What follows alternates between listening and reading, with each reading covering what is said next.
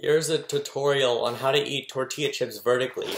So, uh, firstly, shout out to uh, Funko. I'll leave his channel link in the description and hopefully he comments, so I'll pin his comment, for getting me these tortilla chips. First thing you're gonna do is get tortilla chips, obviously, and then you're going to Pledge your soul to me.